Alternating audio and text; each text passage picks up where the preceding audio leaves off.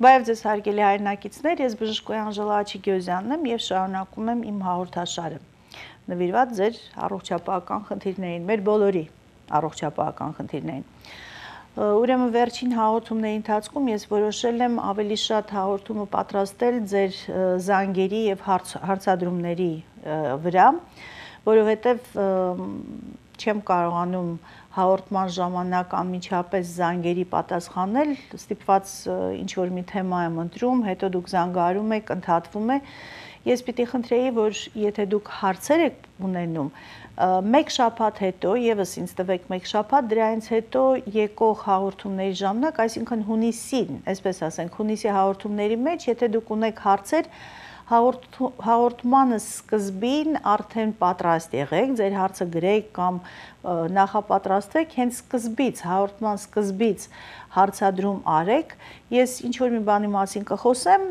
կարճ, որպեսի հասցնեք հարց տալ, այսինքն զանգարել ստուդիա եւ ես ձեր հարցերին պատասխանեմ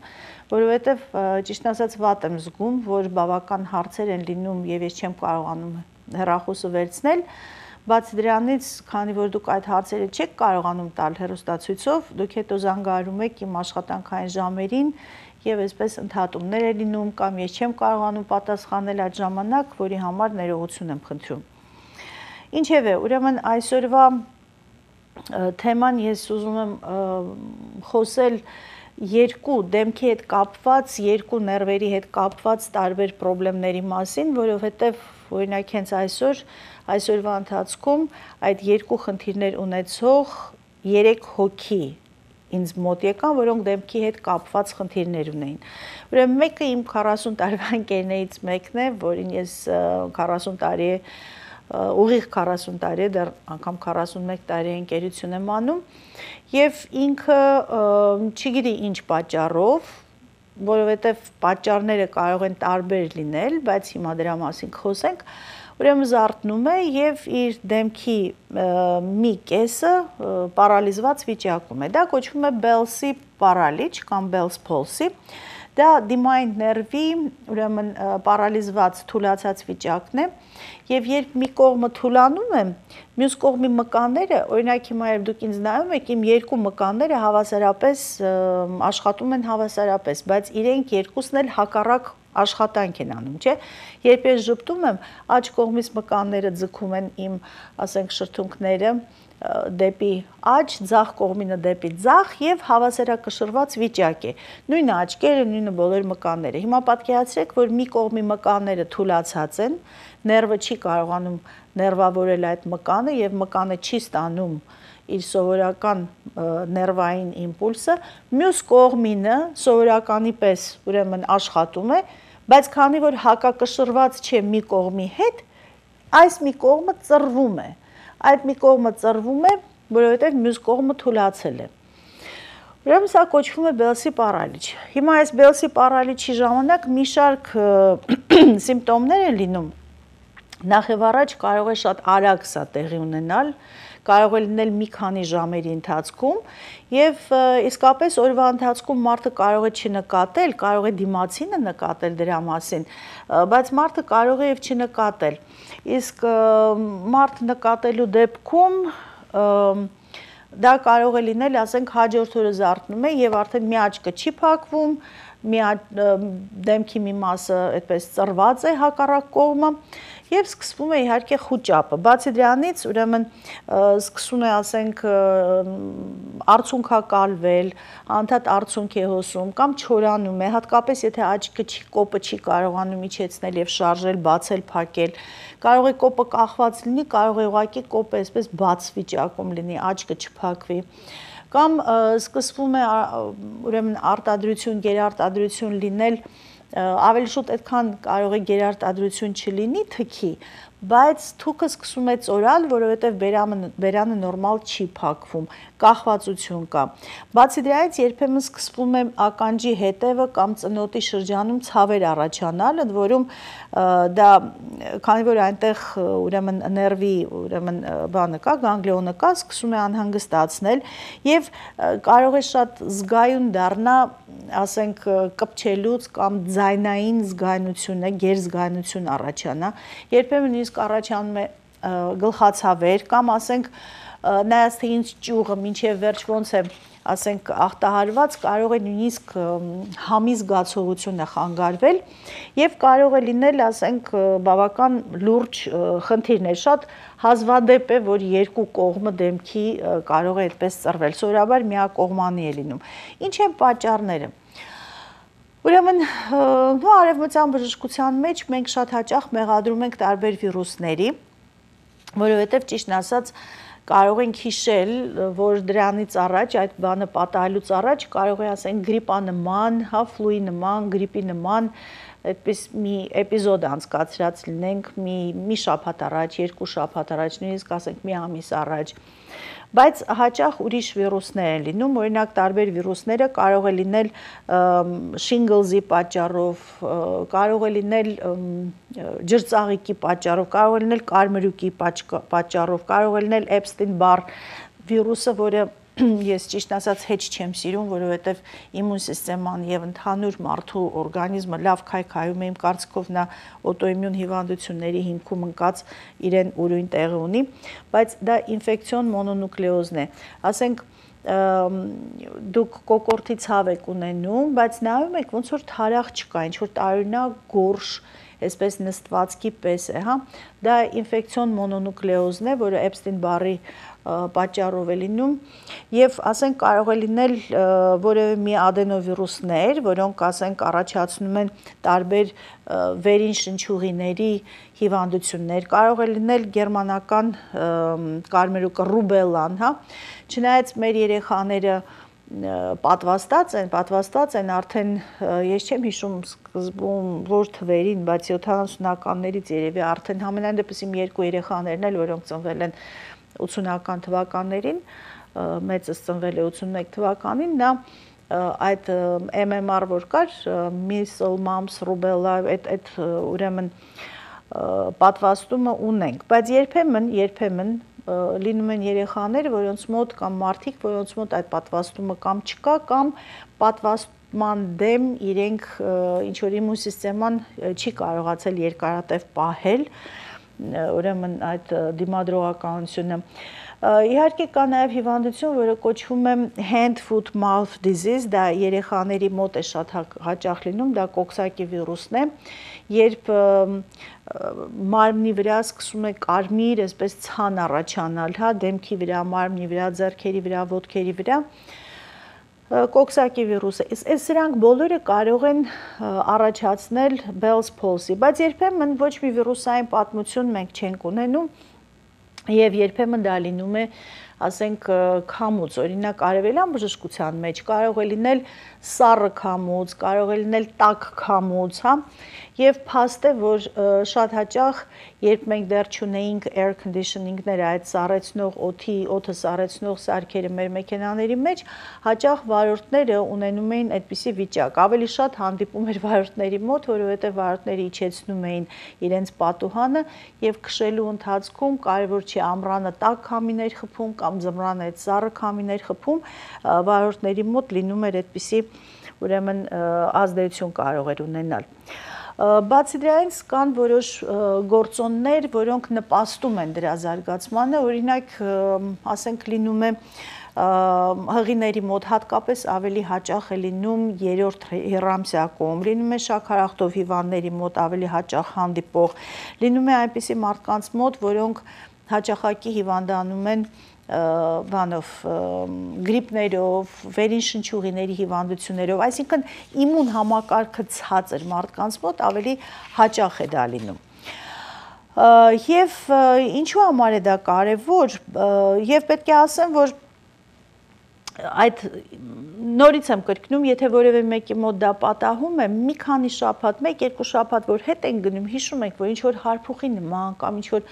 գրիպի նման, ինչ որ մի բան ան, ան, անհանգստություն ունեցանք։ Նույնից եմ ասում, անպայման չէ, բայց այդպես սովորաբար լինում է։ Հիմա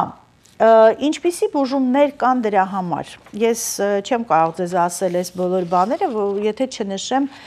բուժումներ, ես ուղղակի ուզում եմ վստահ լինել, որ ոչ մի բան բաց չեմ թողնում։ Ուրեմն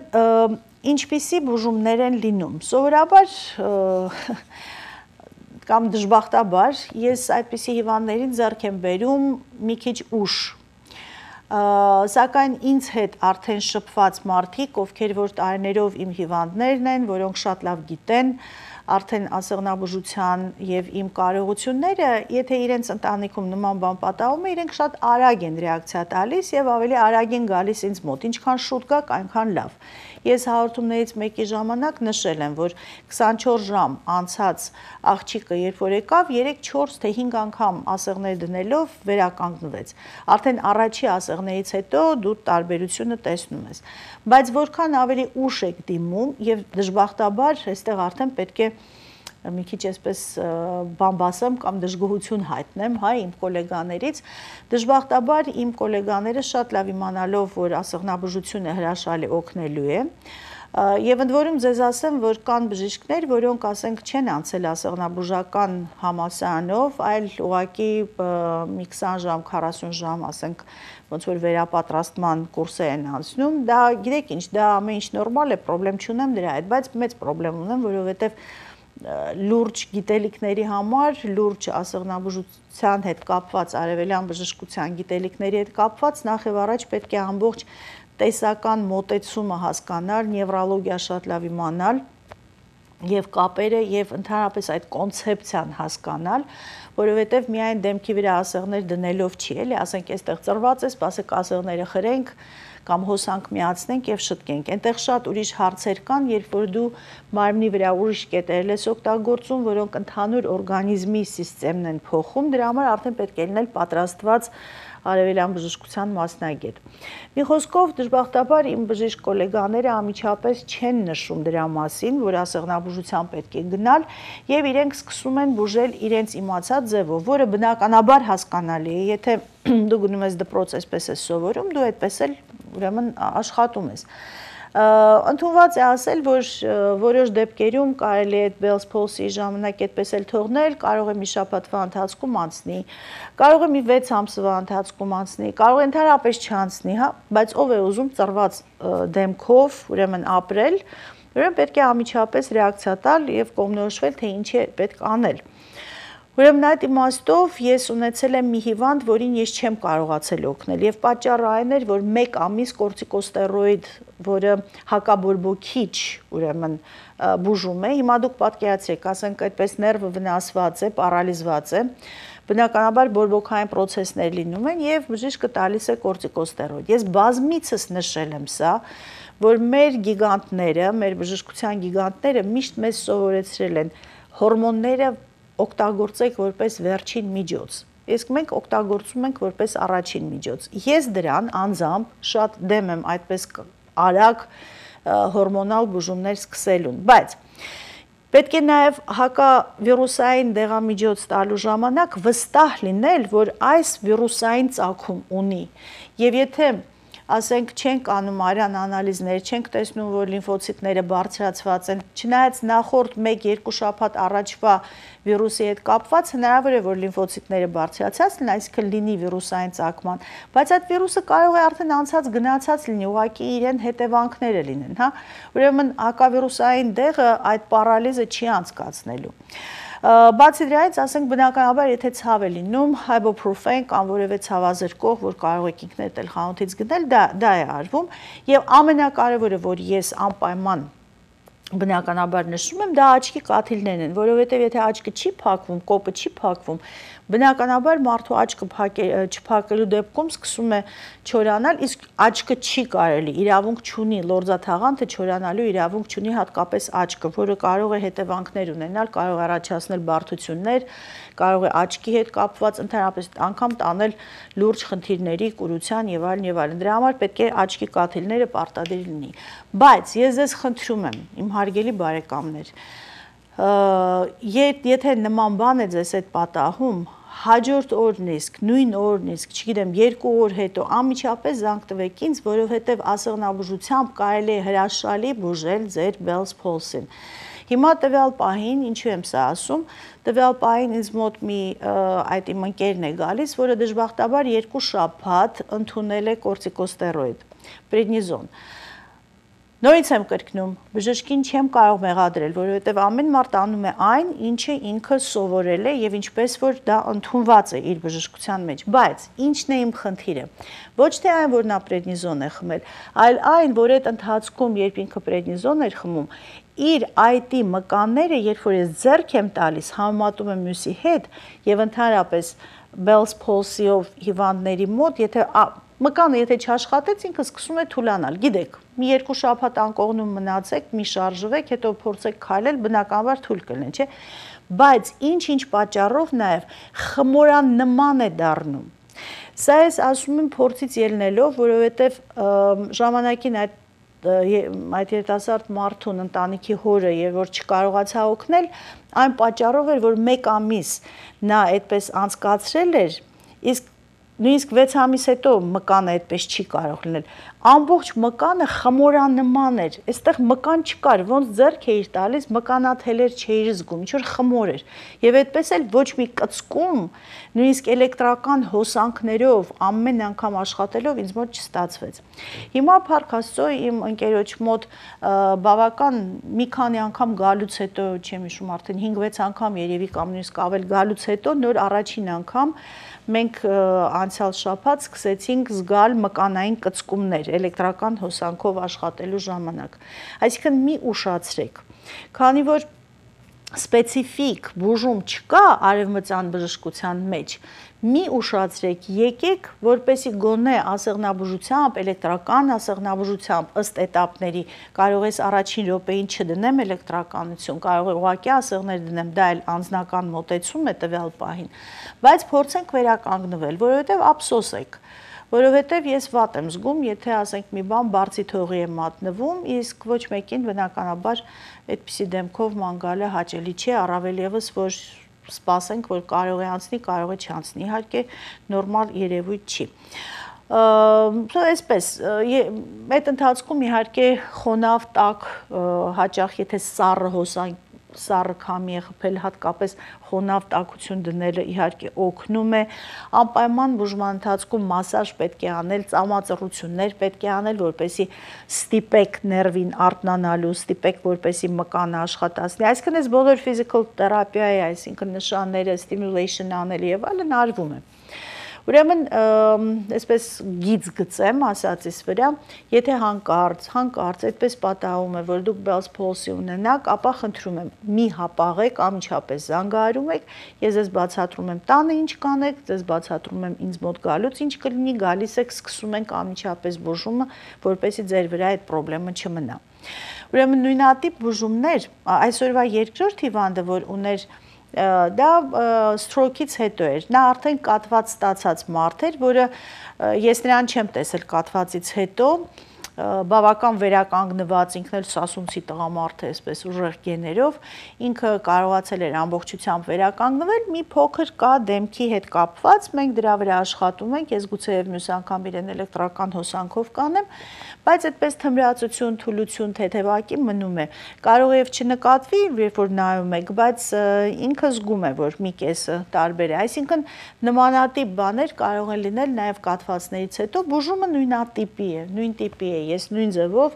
հոսանքով կամ էլեկտրական հոսանքով ասեղների վրա դրված կամ ասեղնաբուժությամբ աշխատում եմ։ Երորդ հիվանդը, որը արդեն իմ, իմ հին հիվանդներից է, որի մոտ ժամանակ առ ժամանակ խնդիրներ են առաջանում, դա արդեն երվորյակ ներվի հետ կապված ուրեմն խնդիր է երվորյակ ներվի հետ կապված սա արդեն բոլորովին ուրիշ հարց է այստեղ եթե Bell's palsy ժամանակ մենք ունենք ցավային խնդիր ուղակի պարալիզված մկանների այս այս գանգլիոնի այս հատվածի ծնոտի եւ ականջի հետեւում երվորյակ ներվը ինքը այսպես ունի իր գանգլիոնը ականջի մոտ, բայց երվորյակ ներվը մի ճյուղը դեպի ճակատ է գնում աչքի կողմը, մեկ ճյուղը վերին ծնոտին եւ այսպես ստորին ծնոտով գալիս է մյուս ճյուղը։ Այստեղ արդեն ցավային, խիստ ցավային խնդիրներ են։ Ա, եւ ուժեղ ցավ, հանկարծակի, այսպես շոկի, կարող է լրիվ այսպես բան անել, հոսանքի պես խփել, շատ ուժեղ ցավեր առաջանալ, գիտեք ոչ թե մեկ հոգի ունեմ, այլ երկու հոգի ունեմ, մոռացա, մյուսը ուղակի ատամնաբուժի աշխատանքի հետևանքով ատամը սեղմել էր եւ այդ երվորյակ ճյուղի մի ճյուղն է վնասված, մյուս երեքը երկուսը նորմալ է։ Ինչևէ, Այստեղ իհարկե շատ ավելի լուրջ է վիճակը, որովհետև սարսափելի ցավեր կարող են լինել եւ երբեմն վիրահատական խնդիրների առաջ է մարդը կանգնած լինում, որովհետեւ մի ճյուղ, այդ ներվը, ներվի ճյուղը իրեն շուրջը անոթներ կան եւ երբեմն այդ անոթները փաթաթվում են եւ ճնշում, եթե լինում է անոթների մեջ, իրենք սկսում են խեղտել այդ ներվը եւ վիրահատական, ասենք, միկրովիրաբուժություն պետք է անել ազատվելու այդ անոթներից, բացելու ներվի ճնշումը։ Երբեմն, ասենք, բլունինգի նման, այսպես ազատում են, բայց Առ այսօր բոլոր մարդիկ, ովքեր որ ինձ մոտ եկել են եւ Հայաստանում էլ ես մի այդպիսի դեպք ունեի երկու վիրահատություններից հետո միևնույն է չեր օգնել վիրահատությունները Սկլիֆասովսկու հիվանդանոցում, բայց ինքը եկավ ես այդ ժամանակ այդպես բարեգործական գնացել էի աշխատելու 3 շաբաթով եւ այդ մարդու մոտ ես կարողացա իրեն օգնած լինեմ, ընդհանրապես մի կետ մնաց միջև գալիս։ Բայց ինչ եմ ուզում ասել, երվորյակ ներվի խնդրով այս կինը, որ ինձ մոտ գալիս է, իրեն ամուսինը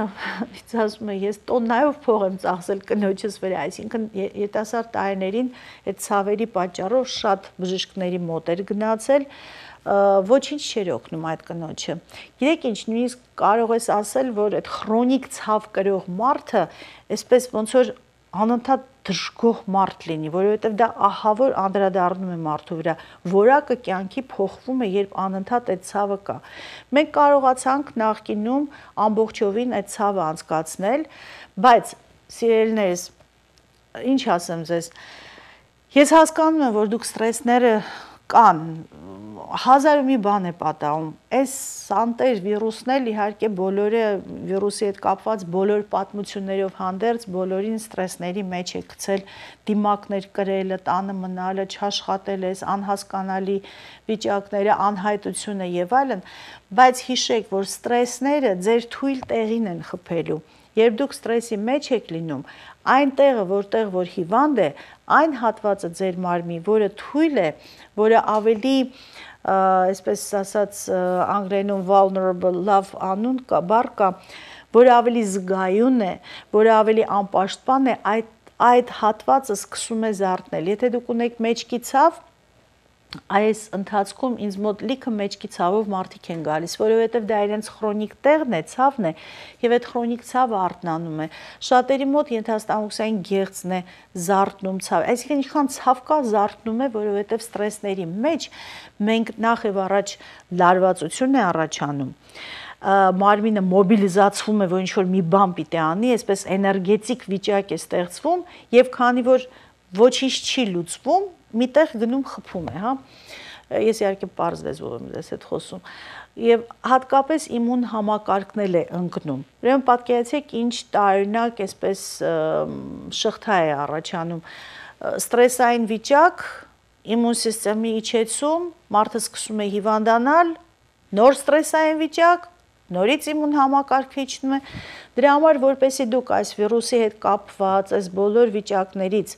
ավելի պաշտպանված լինեք։ Սիրելիներ, ճիշտ է, հազար մի բուժումներ են, չէ, ներկայանում։ Ինտերնետը մտնում ես, միտեղ parzվում է Իտալիայում, չգիտեմ, դա բակտերիաներ էին, չգիտեմ, արյան տրոմբեր են, մյուստեղը վիրուս է, էսեն է։ Ժողովուրդ, եթե դուք ձեր բանակը շնորհքով ամուր պահեք, ոչ վիրուսը հեշտությամբ կարող է ձեզ վնասել, ոչ բակտերիան,